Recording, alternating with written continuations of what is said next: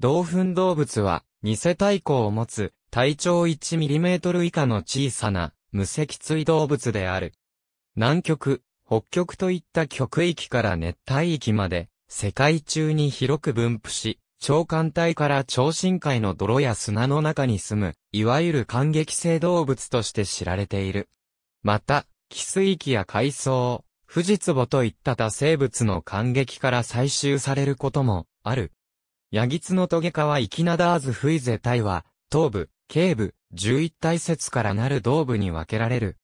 21世紀初頭までは、頭部を第1体節、頸部を第2体節、胴部を3から13体節とされていたが、近年は前述の故障が一般的である。頭部には無数の冠トゲを有する。また頭部は胴部へ引き込むことができ、その際には、頸部が蓋の役割をする。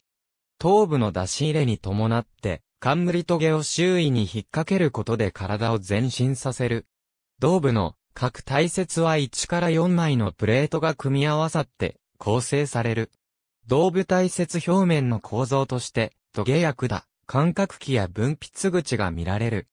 トゲは、表皮から分泌される。口倉の一部であり、成長のたびに何度も生え変わる。同糞動物は、海底の海藻の間や、泥中の珪藻及び、デトリタスと呼ばれる、有機体積物などを食料とする。頭部の冠トゲを利用し、これを出し入れすることで前進し、体に生えたトゲもこれを補佐する。体は複足に曲げることが可能である。長官体から超深海まで分布し、世界中に広く分布している。特に酸素濃度の高い砂泥で高密度に生息し、場所によっては、線虫、底見人湖に次いで、個体数の上で優先種となる。反対に貧酸素環境に弱く、汚染海域ではすぐに姿を消すことから、海洋の汚染指数を測る指標生物としての利用が期待されている。成長の際には、脱皮を行い、脱皮核はほぼ全体の形を保つ。私有遺体で、集団体節にオスは、交尾トゲ、メスは生殖口を持つ。妖精は自由生活である。しかし生殖及び初期発生についてはほとんどわかっていない。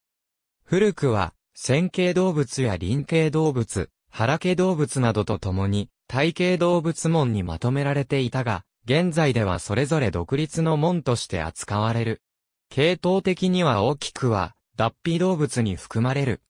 脱皮動物内においては、同行動物や、エラエ動物に近いと考えられることが多く、これらの三問をまとめて、有極動物とする説もある。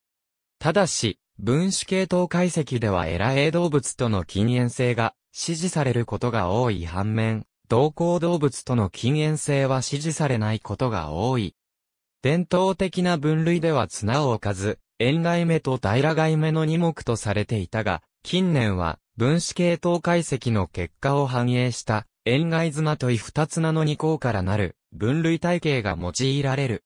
2020年現在、円外綱には3目7か18属196種が、異二綱には4か13属111種が知られているが、その種数は近年でも増え続けている。なお、日本からは24種が報告されている。